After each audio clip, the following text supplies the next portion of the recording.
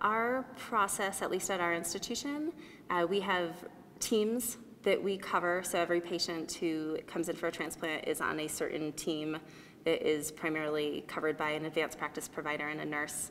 And the pharmacist covers about two to three teams at any given time.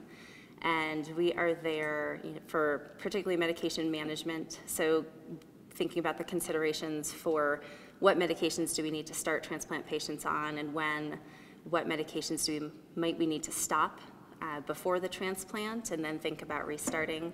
Uh, we're also involved in not the writing of the chemotherapy, but the checking of the chemotherapy orders and the growth factor orders for mobilization, uh, doing any therapeutic drug monitoring that needs to be done, particularly for immunosuppressants in our allotransplant patient population, as well as things like azole antifungals. Uh, we also look at uh, any drug adjustments that need to be made in terms of their dose as it relates to the patient's organ function. Uh, we also do busulfan kinetics at our institution. Um, not every place does. We have a pretty large patient population from across the country um, that we follow. And then we're involved too in different uh, committees, including our standard practice committee, which helps develop our standard practices, as it says, for our transplant processes.